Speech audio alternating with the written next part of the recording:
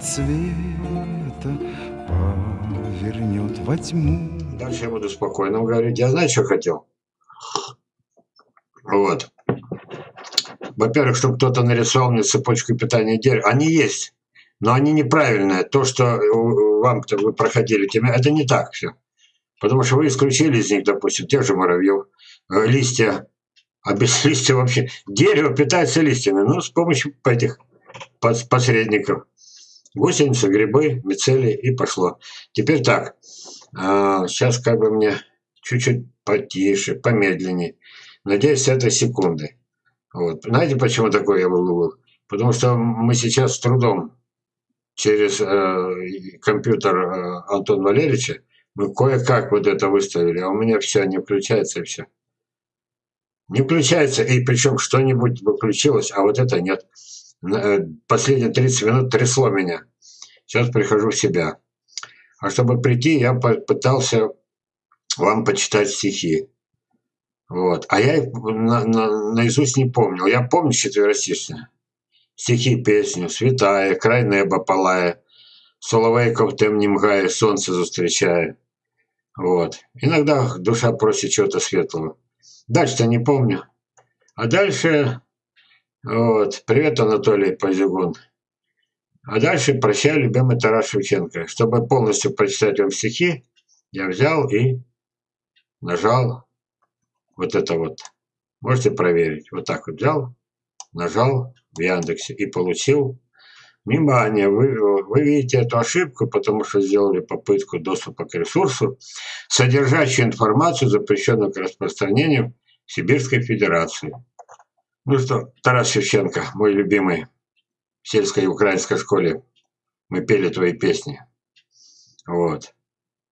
Твои книги – это шедевр, это лучшее, что создано на, на всем пространстве Украины и России. Прощайте.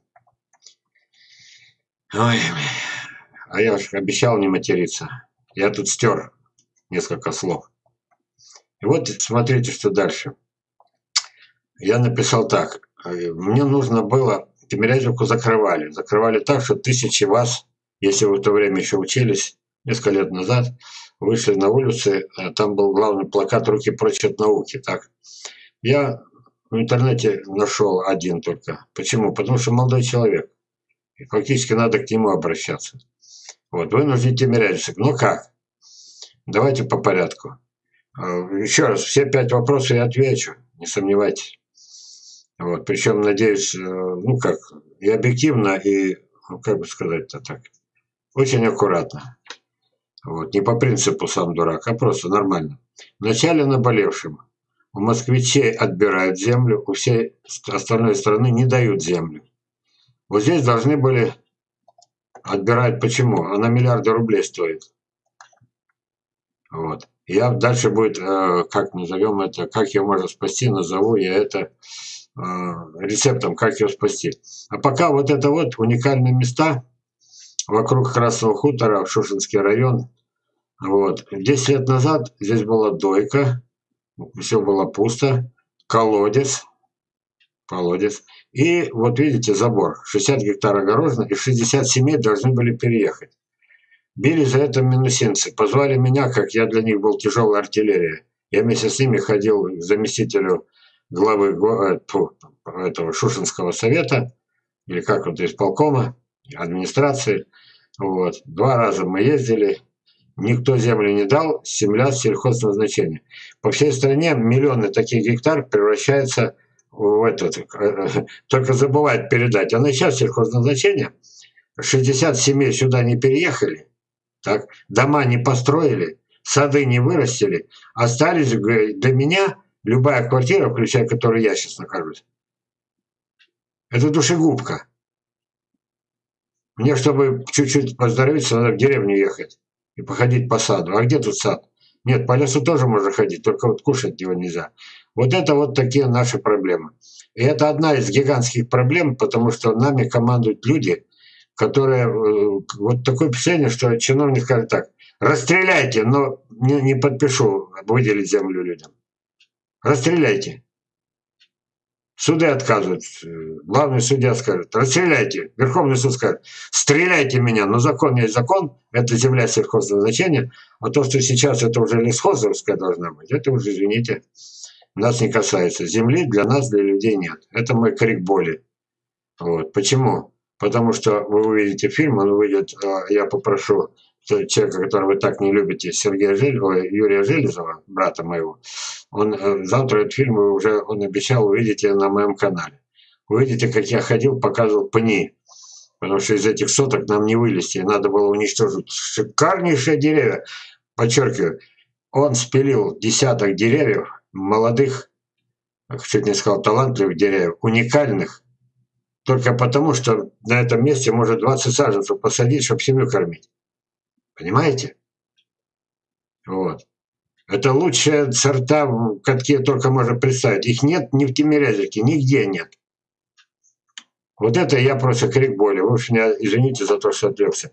Где-то, когда-то это должно измениться. Вот. Сергей, внучок, вот, Сашка. А это Квинти. Это Голландия. А перед этим она была этим самым Канада или наоборот, с Канады в Голландию, из Голландии, неважно. Потом попал на Украину, потом ко мне. Вы представляете, сколько здесь было бы? Они бы наверняка, весь бы мой питом, Сергей питомник бы, 60 семей. Весь бы питомник тут рос бы. Тут же не, это дорога, вот все рядом, сотни метров, не километров. Вот. Сколько таких детей осталось, остались отраву жрать? Теперь э, немножечко, э, как бы сказать вам, ну, немножко, вы знаете, что такое аллегория? Я специально полез в эту, в, э, в Википедию. Аллегория – абстрактное понятие с помощью конкретного образа. Например, скелет с косой – символ смерти, голубь – символ мира. Вот. И вот я, у меня все само получается, я никогда ничего не выдумываю, ничего не делаю. Само, руки лезут сами, вот, видите? Это не мы-то. Сейчас я хочу э, вас убедить, что мы должны быть по одну сторону баррикады. Смотрите, не мы-то. А кто такой не мы-то? Если бы у меня не было абрикосового сада, мы бы с ним, может быть, и не дружили. Вот. А вот эту книгу он мне подарил, подписал. Видите? И я ее читаю. Немножко все, в данном случае не пугайтесь, полстраницы. Когда я учился в девятом классе, случилась такая история. Она имеет отношение к нашему спору. Подходит ко мне на перемене преподаватель физкультуры и говорит, ты должен завтра участвовать в соревнованиях по вольной борьбе. Надо защитить честь школы. Я даже закипел за вещей, но мне это не знакомо, даже не знаю, чем отличается вольная борьба от дзюдо или дзю после. Физрук обещает показать пару приемов перед соревнованием и говорит, что это будет достаточно. Уговорил. Не успел только показать, как правильно падать. Это да, это надо было начинать с падения. Приехали мы на первенство города среди школьников. Там меня взвесили, записали. Вот. Немного волновался перед соревнованием, но все обошлось как нельзя лучше. Когда меня вызвали на борцовский ковер, внимание, то соперника у меня не нашлось. Поднял судья мою правую руку вверх, затем эту же руку пожал, все закончилось. Получил диплом о том, что стал чемпионом города. То есть единственный соперник не пришел. И благополучно обо всем забыл. Но зря. Далее продолжение, потому что он так чемпион города, а потом оба. Это, вот так продолжалось. Так вот, соперника у него не было, и он стал чемпионом. Так вот, друзья, до сих пор так сложилось, что в течение многих десятилетий, с тех пор, как была уничтожена э, научная школа э, Мичурина и Лысенко, Мое отношение к Лысенко не, неоднозначное. Но считать, что он дурак или он этот самый, только занимался дурью, э, ну, нельзя так. Вот. А получилось так, что после этого вся вот эта селекция по скрещиванию, то есть специальные презервативчики из марли, значит, о скоплении. Для меня даже рассказывать об этом, у меня тошнота подступает вот сюда. Что берем пинцетик, берем, отскопим не знаю, как научное слово, извините, я же металлург. Вот, аскопим, значит, чтобы на одном цветочке, с другого цветочка перенесем с помощью ватки или там этот самый а, пыльцу, и вот мы зададено. Я вот говорю, Елена Александровна этим путем, если она пойдет, с этого пути наши разойдутся, потому что результат она не получит никогда. Его так никто и не получил, этот результат. Вот. Э, настоящий результат. Именно из-за того, что э, долгий путь, результат непредсказуемый. А здесь пять лет, пять поколений. И сад э, можно иметь такой, который до сих пор никто не имел. Такие сады появились. То есть, вы понимаете, э, какой-то момент э, официальная наука не то, что попала в тупик, там чушь, там написано, что железо чушь несет. Слушайте эту чушь дальше. Она дошла до того, что дальше развиваться было некуда. Э, во многих случаях то, что портит сорта, это термин не мой, а Мичурина, да, Сеянцева, Сеянцева, я посмотрю там книгу, там книгу. Вот. Мне уже приходилось возвращать им обратно. Их, и такой я называю библейской сущностью. То есть когда-то плоды были немыслимо крупные, немыслимо сладкие. А потом наука, наука, наука. А они же нужно сотни получить одну, а остальные куда? Ведь никто же эти деревья не вырубал. Когда взяли за колновидное яблони, вспоминайте, вот. Потом пошли по стране миллионы яб, а потом, ой, извините, а это же не, не мы, у нас настоящая колонна, да. А почему те не плодоносят? Почему не больше трех яблок? Вот. Да потому что подвой у них неправильно все. Но от этого никуда не денешься. Здесь всегда получается так, что когда золотинку, чтобы найти, тратятся миллионы и миллиарды.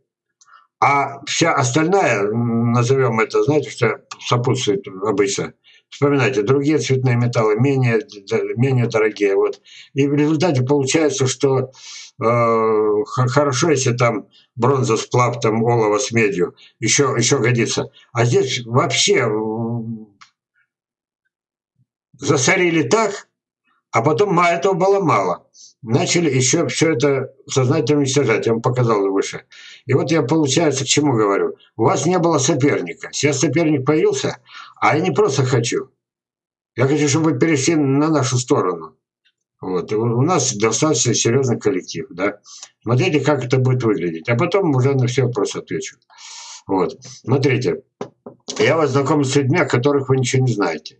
Ольга Исакова все-таки не Наталья Медведева. Она все-таки э, смотрит, она же задала вопрос и ждет ответы. Так вот, имена известны в узких кругах. Да не в узких кругах, есть вообще неизвестные. Смотрите, рядом институт, а в нем нет ничего близко того, как у фамилии ниже. У человека, который вообще не знаком, не только в узких, ни в каких. Я знаю несколько десятков человек, только я один на всей планете. Они обошли науку, ну, самое малое, ну как, ну, если считать, что, помните, 19 век, этот самый Гаше там, допустим, э, продвигал на север, да, потом Мичурин, вот, и все жаловались, что это невкусное у нас, это невкусное, это невкусное. Поверьте, и сейчас то же самое. Поэтому возник вопрос уже о перепрививках. Ну, а никто же не учил перепривать. Не, не это. Сергея не учили прививать в этом самом Э, в колледже, который дали звание этого, или должен, нет, не должность, как, ну, в общем, агроном. А учил-то его я. И вот получается так. А, Еще даже менее известно, но это к сожалению. И вот смотрите, это к вам обращаюсь. Милые дамы, вам не обидно, что сейчас в России назначают, кому быть гением? Я же продолжаю за вас, смотрите. Вот. То есть эти гении натуральные, вот они настоящие, да? Вы их даже упомянули, хотя вы их практически не знаете. Ну, где-то краем уха слышали там про Латинкова, вот, который умер, не дождавшись признания. Вот, слышали, наверное, про Сергеева, вот, ну, еще пару фамилий. Вот. И получается, вы-то правы, а кто бы спорил? А знаете, почему это? Потому что гением у нас назначают. Вот назначили так, вот тебе это, ты гений. Народный. Народным назначают. Академиков назначают. Они должны баллотироваться в академике. Кто круче? А потом сидит этот э, Путин и спрашивает э, президента Академии, а почему мы академикам назначили вот этого милиционера, генерал-лейтенанта? А тот сидит, сидит. У него труды есть. Представляете, вечерами, э, когда-то был этот фильм, там, когда этот король вечерами шил женские платья. Ну, это понятно. Шей. Это хобби называется. Ну, когда за хобби назначают э, гением, вот. Так вот, и вам, Наталья, и вам, Ольга, и нам ничего не светит. Дело в том, что вы потом еще уже один фильм вышел, там очень горькие слова моего друга Сидорова Валерия Петровича. Нас лбами сталкивают, и мы рабы, и вы рабы, и мы нищие, и вы нищие. Вот я и призываю, давайте выходить из этой самой клаки. Вот. Пригласили Путина один год, другой год Медведева, пригласили их на Кубань. Помните? Это житница, т т т т т там это. Я бы постеснялся. Отравленные яблоки. Показывают же фотографии куча, фильмы. Больше ничего нет. А ведь это не И. Северокавказский. В одном случае, в другом случае там это, собирали целую толпу фермеров, сейчас они накормят. А как они, яблоки будут не отравленные? М? Если по ошибке уничтожают грибы, скалечат дерево, считают, что на нем появились грибы, дожирать, да, но только мертвечину. Вот. А вот это вот фамилии это, моих друзей. Каждый из них с гордостью называл меня своим другом.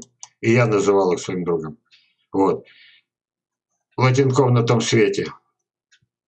Его сад скоро исчезнет. Девчонки, ой, извиняюсь, милая, уважаемая ученая, я к вам обращаюсь. Не просто там потом напишите, что э, там в своем канале, в этом, как он называется, в Тумановском, что Железов херню несет. Поверьте, то, что есть в Латинкова, нет в Тимирязевке раз, нет э, в Мичуринске два, нет на, э, нигде больше. То, что... О, ух ты, я кого забыл. Я забыл своего друга, этого самого, сейчас, Леонида Дмитриевича. Вот.